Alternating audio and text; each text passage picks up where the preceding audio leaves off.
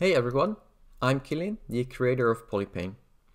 Today I wanted to show you the new Polypane console, which is available in Polypane 4. Now, the Polypane console combines the consoles of all the panes in one single place. To demonstrate this, I've created a little testing page, which has buttons for a bunch of different console commands. And as I start to click on them, you can see that the messages start to appear in the Polypane console.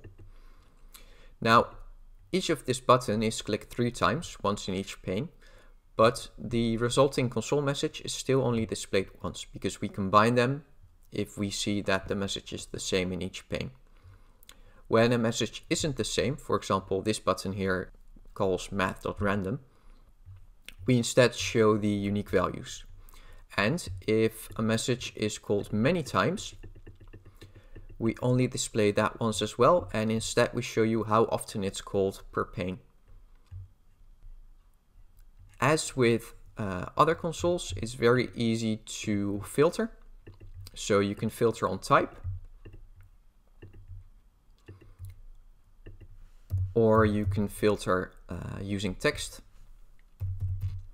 And it's also very easy to fully clear the console. Now, showing console messages in a single place is really helpful, but the Polypane console doesn't just show messages, it's actually a fully functional console. So I can type something like window.innerHeight. As you can see, uh, we display the inner height of each pane individually because they're, uh, they're unique values. And if instead we make all the panes the same height, and call it again, which we can easily do just by pressing the up button because we, we remember uh, all your console messages. Then you see that there's uh, a single unique value that is the value for all the panes. The Polypane console also has a whole lot of convenience functions. So for example, there's the dollar function uh, that maps to query selector. So now I've selected the first button and as you can see, it automatically highlights this element in, uh, in all of the panes.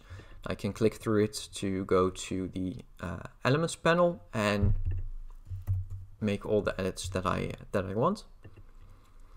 But you can also do more advanced stuff. So for example, here I map over all the buttons and then make them red. Now, as you can see, we automatically do uh, color highlighting uh, and if you want, we even support multi-line commands. And just like that, all the buttons are red.